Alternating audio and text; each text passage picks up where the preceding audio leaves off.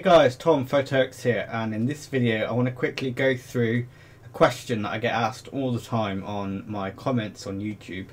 Um, usually it's after I've done a video talking about aperture and things like that and it confuses quite a few people but there's a really simple answer and I'm going to go through it with you now.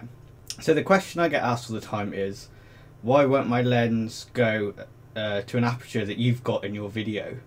Now quite often in my videos I'm using lenses that I already own that are more expensive than perhaps you would get with your DSLR.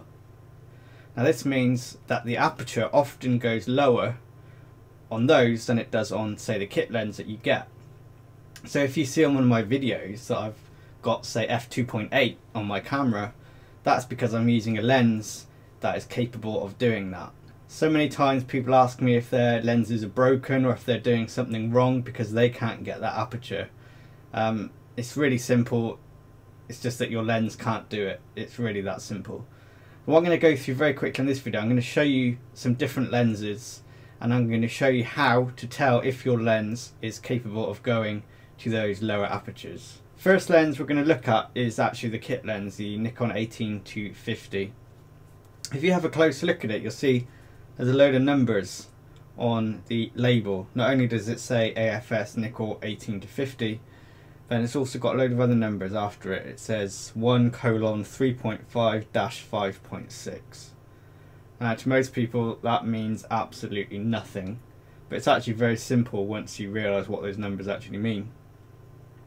All these numbers are telling you is what the maximum aperture is that you can have. When I say maximum, I mean widest. So the lens is open as wide as it can go. So that's letting in more light. You get uh, shallower depth of field.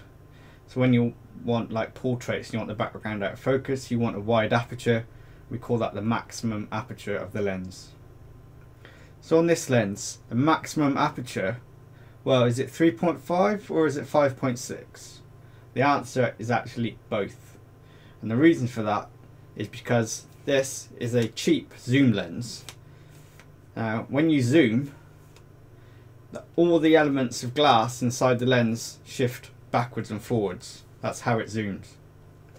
And because of that, the aperture actually changes as you zoom. Because this lens is mass produced and made so cheaply, they've made it so that the aperture just changes as the lens zooms. So when we're on 18 millimeters, the aperture, the maximum aperture is 3.5. That's the widest it will go.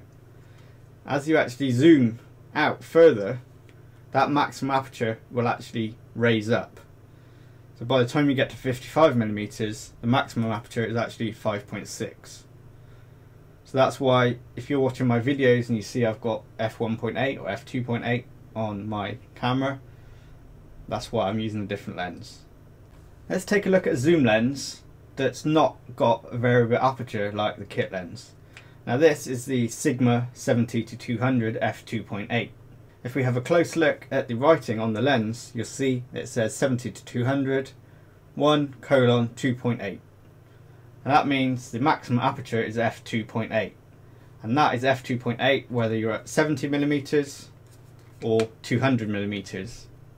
And the reason for that is this lens costs a lot more to make and a lot more to buy than the kit lens and they've actually made it so when the glass elements move the aperture can stay the same. Now you'd pay somewhere around £800 for one of these compared to maybe 50 to 70 pounds for the 18 to 55 kit lens and that's partly because of the mechanisms inside the lens are so complicated to be able to keep that wide aperture that they charge more for it. This is another lens that I've got. This is the Samyang 85 millimeters. This is actually one of the lenses that causes a lot of the questions because I used this lens on one of my guide videos. And this lens actually goes down to f1.4. It's really wide aperture.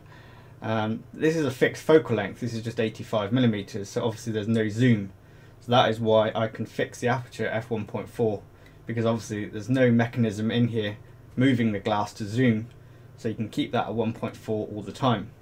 Another one of my lenses I've used in videos before is the Cosina 19 to 35 millimeter. Now again, this has got a variable aperture when you zoom. On this one, if you actually take the lens cap off and look inside the front of the lens, it actually tells you, again, um, it's got 1 colon 3.5 dash 4.5. So again, that means when I'm at its widest zoom, which is 19 millimeters, I'm at f3.5.